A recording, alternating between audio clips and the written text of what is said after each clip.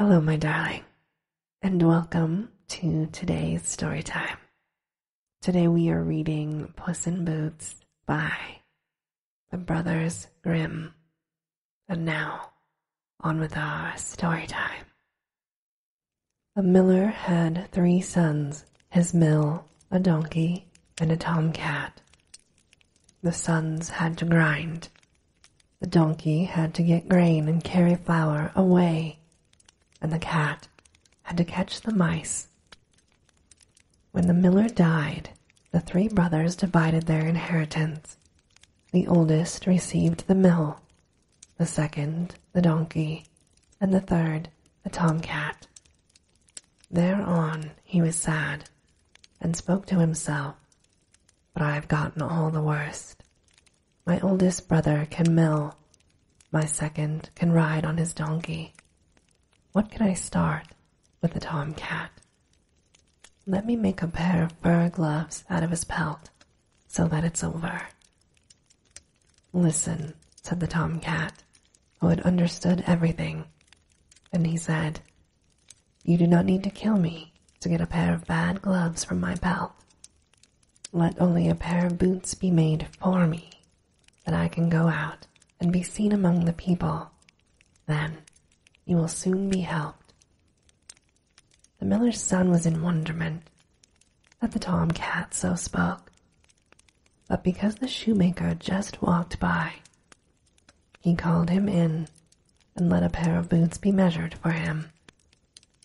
When they were ready, the tomcat put them on, took a sack, made the bottom of the same full of corn, put on the top a string with which one could pull it closed. Then he threw it over his back and went on two legs like a human out the door. In those days reigned a king in the land. He liked to eat partridges so much there was a need that none were to be gotten by the people. The whole forest was full, but they were so shy that no hunter could reach them.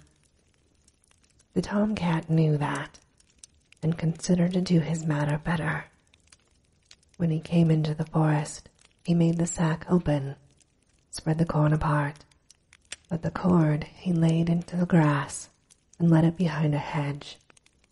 There he hid himself snuck around and lurked. The partridges soon came running, and one after another hopped into the sack. When a good quantity was in it, the tomcat pulled the cord, ran to and twisted their heads around. Then he threw the sack over his shoulder and went straight away to the king's palace. The watch cried, Halt! Where to? To the king, answered the tomcat. Are you crazed? The tomcat to the king. Just let him go, said another. The king is often boredom. Maybe the tomcat will amuse him with his humming and spinning. When the tomcat came in front of the king, he made a reverence and said, My master, the Graf, with that he named his long and distinguished name, lets himself be recommended to the master king and sends him these partridges that he just caught in slings. The king, astonished over the beautiful fat partridges, knew not out of pleasure how to contain himself, and commanded that the tomcat be given as much gold out of the treasure chamber and into his sack as he could carry. Take that to your master, and thank him again many times for his gift. But the poor miller's son sat at home at the window, supported by his head on his hand, and thought. He had spent all his money for the tomcat's boots, and what large things will he be able to bring back? Thereon, the tomcat stepped in, threw the sack from his hack, untied it open, and shook the gold in front of the miller. There, he said, you have something for the hoots. The king also greets you and says many thanks to you. The miller was glad over the wealth, without understanding rightly how it came to be. But the tomcat, as he took off his boots, told him everything. Then he said, You do have money enough now, but it should not stay with that. Tomorrow, I will put my boots on again. You will become richer still. I also told the king that you are a Graf. On the next day, the tomcat went, as he had said, well booted to hunting again, and brought the king a right catch.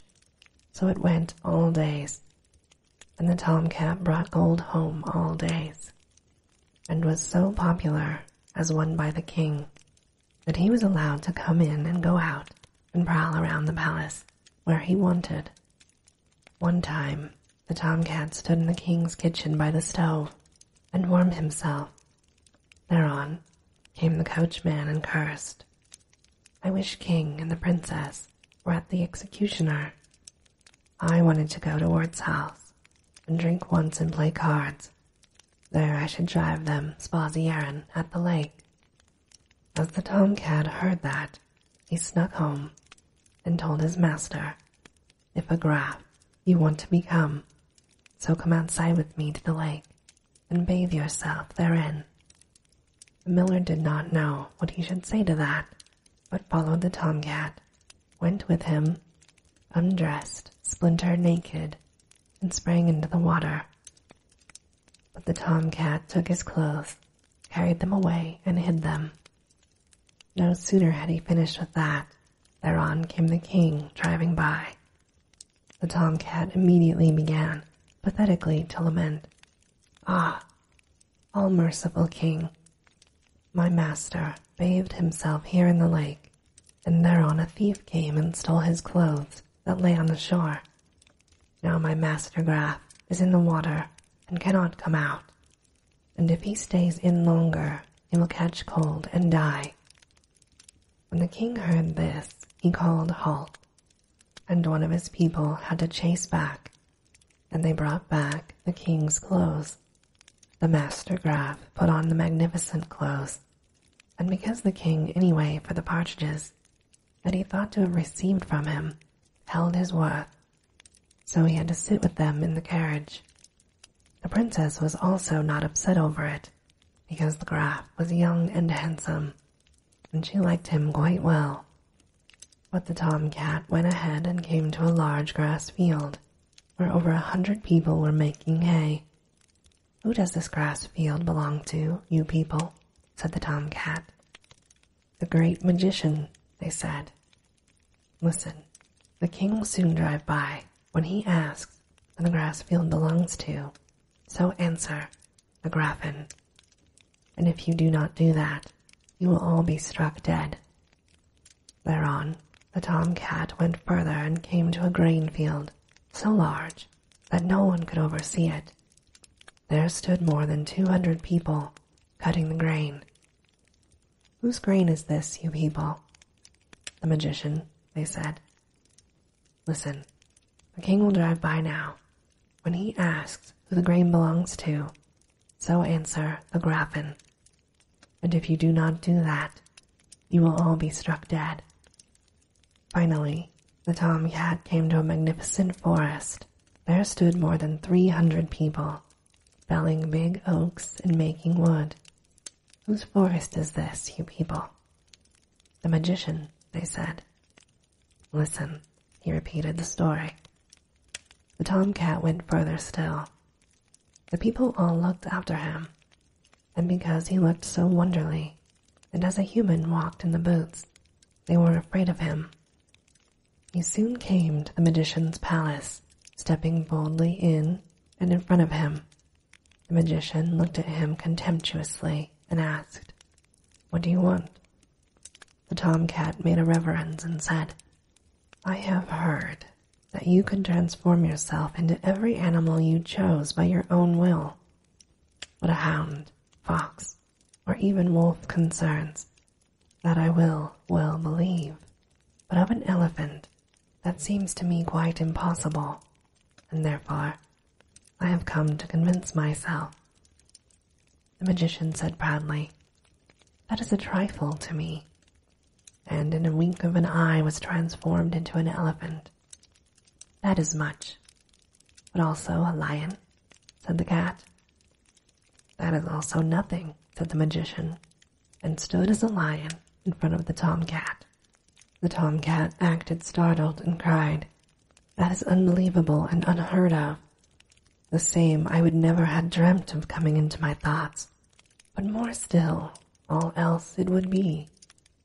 You could transform yourself into such a small animal, like a mouse. You can certainly do more than any other magician in the world, but that will be certainly too high for you. The magician was very friendly from the sweet words and said, Oh my, dear catlet, that again also.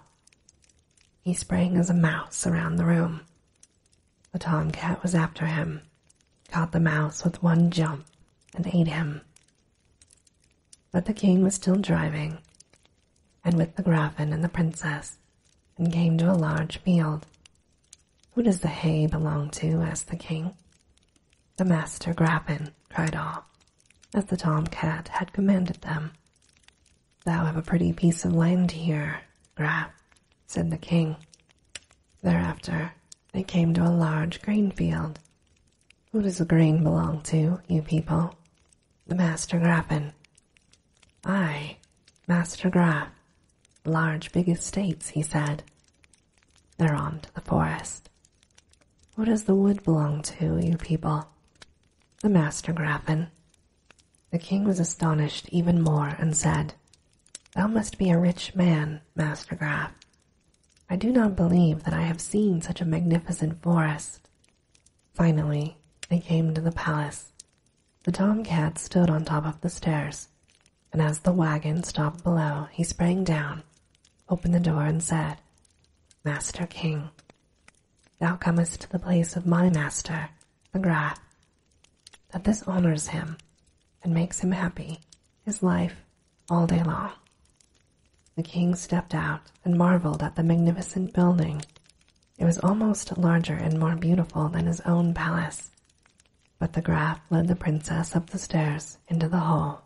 It was shimmering with gold and precious stones. Thereon, the princess was promised to the Graf. And when the king died, he was king. But the booted tomcat became first minister. And this, my darling, ends our story time for today. As always, I hope that you have very sweet and creepy dreams.